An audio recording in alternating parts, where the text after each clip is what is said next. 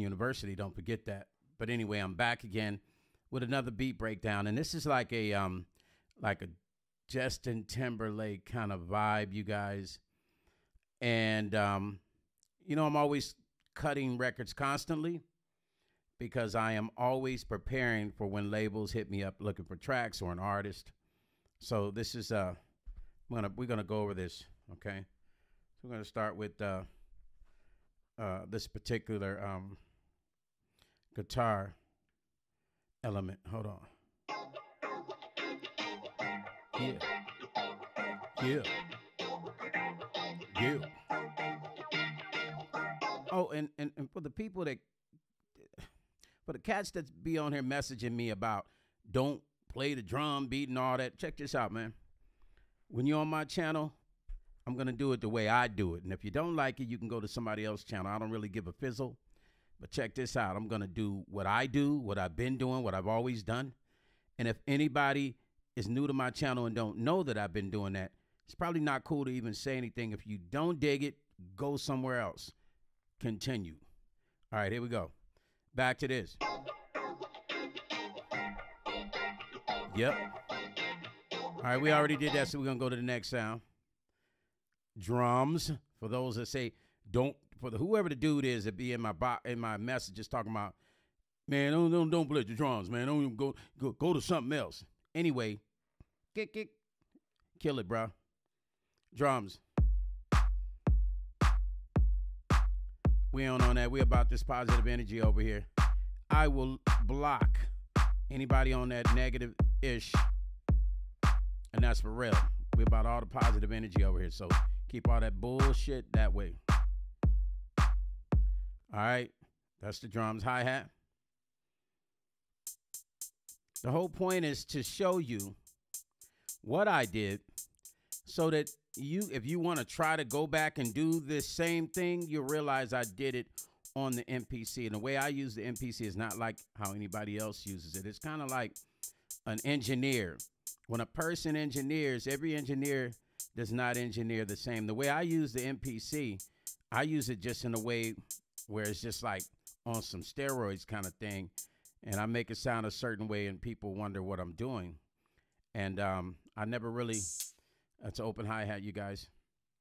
I never really go into details about how I use it, but I've been using it since the 80s. And so I'm like a mad scientist with this machine. I can make it do stuff that you probably don't even realize it can do. You dig? So that's the open hi hat. And um, this here, let's see what we have here. Yeah, you guys. So here's another kick I put in there. It's just straight forward to the floor. And I'm sure you can hear that. I mean, this kick hits very, very, very hard. Here's a here's a bass, you guys. Now I say this track is kind of like a Justin Timberlake real pop radio kind of vibe. You Feel what I'm saying? So like I said, I do a lot of tracks and have them prepared for different labels and artists because I never know when I'm gonna get a call. Here's another. This is a tube synth sound that I played. It's called. The sound is called Sweep, Sweep In from Tube Synth. Sweep In. Next, next, you guys. Let's see what's this. Yeah. So, um, you know, uh, you know, using the, the MPC is about challenging your production skills challenging your production skills, you guys. I mean, you know, any any hear that? Now that sounds from the electric piano.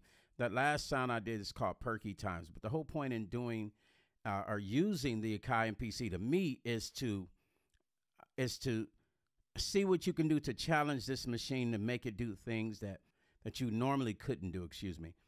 So I work on making Akai do things that people don't think it could do, or making it sound ways that people think maybe that it could not sound, right? So when people hear the tracks I do in this machine, they're always in shock that you did that on that. Because most people do a lot of trap records on this. 99% of most of the cats on YouTube do mostly trap records, trap beats and stuff. Me, I, I mean, I'm all over the place. I can do trap is easy. You know, my trap stuff doesn't sound like the average trap records. My stuff is like on some other level. Maybe I'll lay a few tracks that you hear, but check this out. my thing is to challenge this machine. No matter what you're doing, hip hop, trap, R&B, like make this machine work, man. Make this machine talk. You feel what I'm saying? Make it talk, not not no mediocre, average kind of stuff. Make this machine do what Rodney Jerkins makes it do. Make this machine do what Dallas Austin has made it do. Make this Akai do what Jermaine Dupri has made it do, and tons of other industry, Babyface, and we can keep going. All the people that use the Akai product make this machine do what it's supposed to do.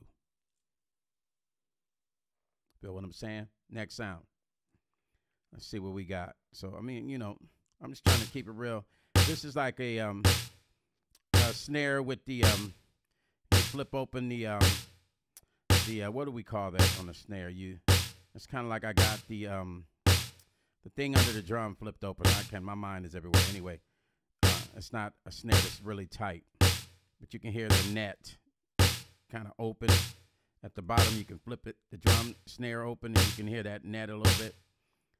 Um, that covers the bottom, that tightens it up. For all the drummers like I am, I should know that. You know what I'm talking about. Next sound is a clap. Trying to make this quick. I don't want these videos to be long, you guys. And clap. And clap. And uh. Yep. Next sound, snare. Now this one sounds similar to that one, but this one's tuned a little bit higher, you guys. It's a third snare I think I put in here. This one's tight, but all together they make this wonderful, just wonderful and magical snare element. You feel what I'm saying? So here we go. Let's see what we got here. Strings. Let me see. Here's strings, you guys.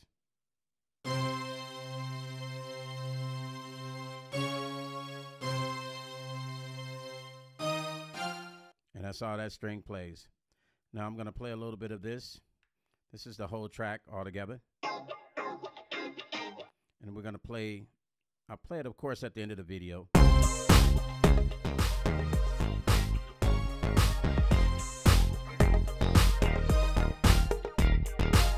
Okay, that is the track, you guys, but I also have a change that I did in there. It's like a bridge. Let me play a little bit of that so you guys can hear. Here's the change.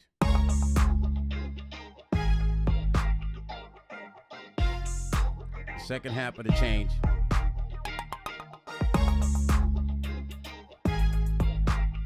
It goes back to the chorus. No, I have another part to that too. Here we go.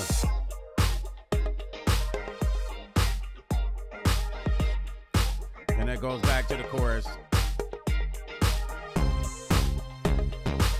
That's it. So check it out at the end of the video, you guys. Stone Paxton University. Stone Paxton, the what? MPC connoisseur. You guys listen, and I'll check you out on the next video. And I'm out. Oh, by the way, any record labels and any artists looking for music distribution, make sure you click that link at the bottom of my video and go to Brand Artist Coalition. Distribute your music worldwide to 242 territories. Once again, take control of your music. Brand artists, we are the future. Don't forget that. Take control of your music distributed today. For Sonic Value, I put some links to some of my music at the bottom.